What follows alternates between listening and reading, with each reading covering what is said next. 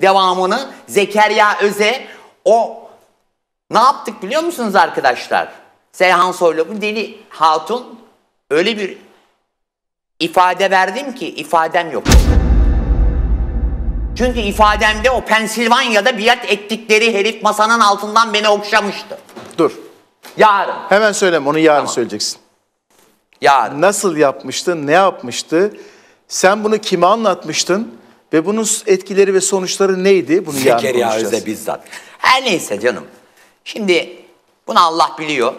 Biz devletimizin başındaki görev alan her insanı korumakla yükümlü hissediyorum kendimi. Ondan dolayı da bireysel aktivist eylemler yapıyorum. Hollanda'da aklı polisi indiriyorum. Öbür tarafta Mısır'da yakalansam idam edileceğim gidiyorum eyleme. Önümüzdeki günlerde Seyhan, senin canından zorun mu var? Canımdan zorum yok. Nedir Benim koruyacak toprağım var. 784 bin kilometre kare misaki milliğimiz. Benim bakanım. Bakın. Görüyor musunuz? Bu ay yıldızın altındayız. Lazı, Çerkezi, Boşna. Herkes burada Alevisi, Sunnisi. Biz biriz ya. Bir vatan ya. İnsanların anlayamadığı ne biliyor musunuz?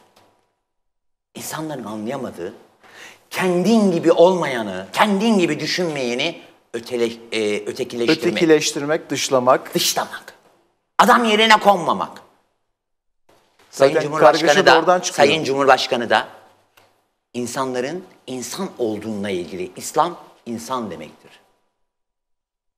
Yani ben özel hayatımda ne kadar marjinalsem dışarıda, özel hayatımda muhafazakar, evimde de mütedeyyin. Bu yüzden de beni muhafazakar insanlar daha çok sever.